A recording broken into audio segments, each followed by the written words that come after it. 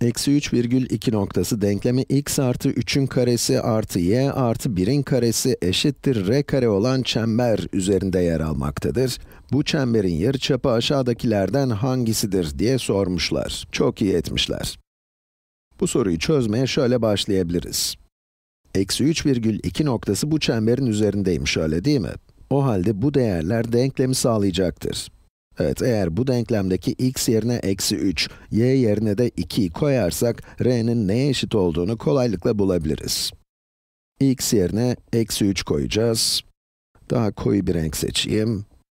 Eksi 3 artı 3'ün karesi artı, şimdi de y yerine 2 koyacağız. 2 artı 1'in karesi eşittir r kare. Eksi 3 artı 3 sıfır eder, sıfırın karesi 0. 2 artı 1, 3. 3'ün karesi de 9. Ve eğer r kare 9'a eşitse, r'nin de 3'e eşit olduğunu bulmuş olduk. 9'un karekökü eksi 3 de olabilir ama yarıçap negatif bir değer alamayacağı için, r'nin 3 olduğundan eminiz. r eşittir 3. Az önce de söylediğim gibi tüm yapmanız gereken x ve y yerine size verilen değerleri kullanmak ve r'nin ne olduğunu bulmak. Neden mi? Çünkü bu denklemi sağlayan tüm noktalar bu çemberin üzerinde. Eksi 3,2 noktasının çember üzerinde olduğunu söylediklerine göre, yapmamız gereken bu x ve y değerlerini denkleme yerleştirmek ve r'nin ne olduğunu bulmak. Bir sonraki. Bu bir trigonometri sorusuna benziyor. Aşağıdaki şekilde sinüs x 5 bölü 13'e eşitse, kosinüs x ve tanjant x'in değerlerini bulunuz. Peki, bulalım.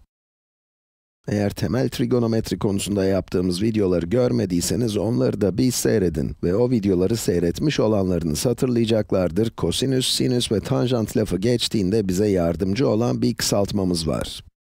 Neydi? Skah, kokoh, takako. Skah, kokoh, takako.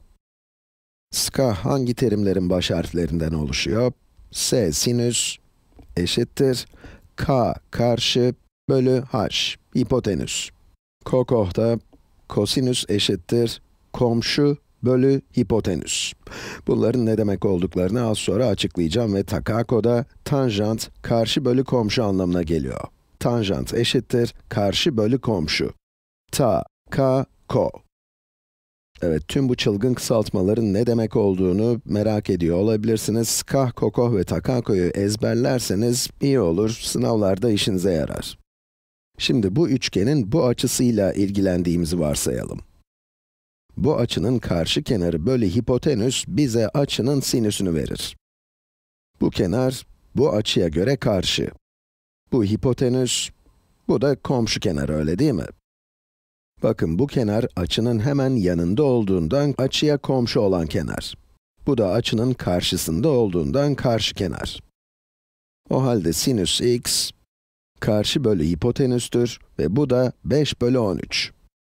Şuraya da yazalım. Karşı bölü hipotenüs 5 bölü 13'e eşitmiş. Şimdi bize verdikleri bu değerin bir oran olduğunu unutmayın. Yani bu 10, bu 26 ya da bu 1, bu da 13 bölü 5 olabilir.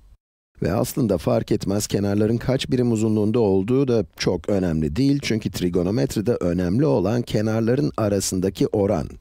Bunun için karşı kenarın 5, hipotenüsün de 13 olduğunu varsayacağım. Başka bir renk seçeyim ki kafamız karışmasın. Evet, tamam. Karşı kenar 5, hipotenüs de 13 ise, 13 dediysek, komşu kenarı bulmak için Pisagor teoremini kullanabiliriz. Komşu kenarın karesi artı karşı kenarın karesi yani 5'in karesi 25, hipotenüsün yani 13'ün karesine eşit olacak. 13'ün karesi 169. Denklemin iki tarafından da 25 çıkarırsak, komşunun karesi, komşuya kaz görünür. Yok öyle değil. Neyse komşunun karesi eşittir 144. Buradan da komşu kenarı 12 olarak bulduk. Evet, az önce de söylediğim gibi komşu kenarın uzunluğunun gerçekten de 12 birim olup olmadığını bilmiyoruz. Bildiğimiz tek şey komşu kenarla karşı kenar arasındaki oranın 12 bölü 5 olduğu. Soruya geri dönecek olursak, bizden kosinüs x ve tanjant x'in neye eşit olduğunu bulmamızı istiyorlardı. Ska, koko, takako. Şuraya yazayım. Şimdi kosinüs x komşu bölü hipotenüs. Komşu 12, hipotenüs de 13 olduğuna göre kosinüs x 12 bölü 13. Tanjant x ise karşı bölü komşudan 5 bölü 12 olacak. Ve doğru olan seçenek bir bakalım. A seçeneği. Kosinüs x 12 bölü 13, tanjant x de 12 bölü 5. Bir sonraki.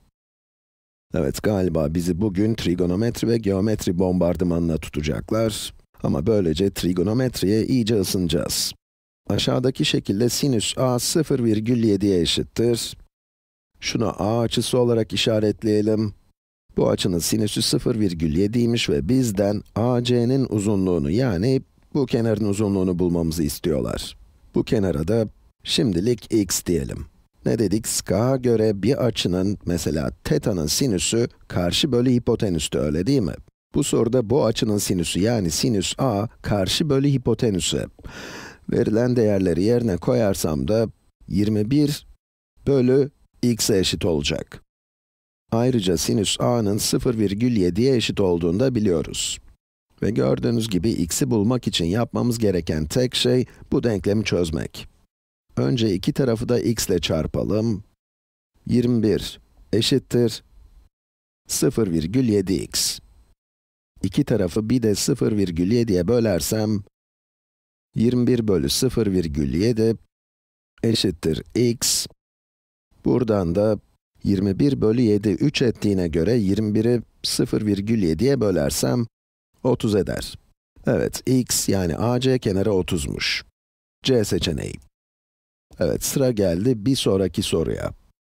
Sokak lambasının yaklaşık uzunluğu, yaklaşık uzunluğu kaç metredir? Bize bu açıyı ve bu açının tüm trigonometrik değerlerini vermişler. Bulmamız gerekense sokak lambasının yerden yüksekliği. Evet, hemen skah kokoh diyelim ve az düşünelim. Bize bu açıya komşu olan kenarın uzunluğunu vermişler ve açının karşısındaki kenarın uzunluğunu bulursak, lambanın yaklaşık yüksekliğinde bulmuş oluruz öyle değil mi? O halde bize karşı ve komşuyu ilgilendiren bir trigonometrik fonksiyon gerekiyor değil mi? Ve bu da hangisiydi? Tanjant. Yani skah kokoh takako'nun takakosu. Herhangi bir açının tanjantı karşı bölü komşuya eşitse, soruda bize verilenlere göre 40 derecenin tanjantını karşı bölü komşu olarak yazabilirim. Komşu kenar 20 metre, 40 derecenin tanjantı tabii ki birçok insanın ezbere bildiği bir şey değil ama soruda zaten bize ne olduğunu vermişler. Bir bakalım neymiş? 40 derecenin tanjantı 0,84. Yazıyoruz. 0,84 yani oran buymuş eşittir h bölü 20 metre eşitliğin iki tarafında 20 ile çarparsak h'ı 20 çarpı 0,84 olarak buluruz. Ve bu da 2 çarpı 84 diye baksak 16,8 eder. Doğru oldu değil mi? Evet. Evet, bayağı uzun bir sokak lambasıymış, değil mi? O stadyumlardaki ışıklandırmalar boyutunda neredeyse. Evet, doğru seçenek C seçeneği. Evet, bir sonraki. ABC dik üçgeni aşağıda verilmiştir. BC kenarı için aşağıdakilerden hangisi doğrudur? Evet, BC yani bu kenarı bulacağız. Evet, hemen skah kokoh takako diyelim. Tekrar etmek iyidir. Bir bakalım. Sinüs karşı bölü komşuydu. BC kesinlikle karşı kenar ama paydadaki 8,2 hipotenüs değil. Hipotenüs 10,6. Kısacası bunun komşu kenar yani yanlış olduğunu söylüyorum. Evet, bu karşı, bu da komşu olduğu için sinüsün yerine tanjant olmalıydı. Eğer burada tanjant yazıyor olsaydı, karşı bölü komşudan cevap doğru olacaktı. 8,2 birim olan komşu BC'de karşıkenar. Evet, dediğim gibi bu yanlış. B seçeneğinde kosinüs 32 var. Bir bakalım. Kosinüs komşu bölü hipotenüs olduğu için 8,2 bölü 10,6 olmalı. Evet, burada da BC yerine 8,2 olmalıydı. Onun için bu da doğru değil. Sıradaki tanjant 58. 58 dereceyi acaba nereden buldular? Burası 32, burası da 90 derece olduğuna göre bu açı 180 eksi 90 eksi 32'den 58 derece olacak. Eğer bu açıyı kullanacaksak kenarları yeniden adlandırmamız lazım.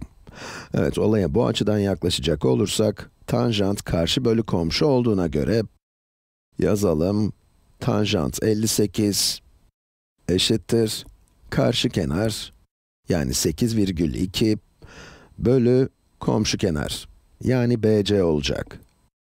Bu kenar, bu açının karşı kenarıydı ama 58 derecenin komşu kenarı oldu. O halde doğru olan seçenek bu seçenek. İşte bu kadar.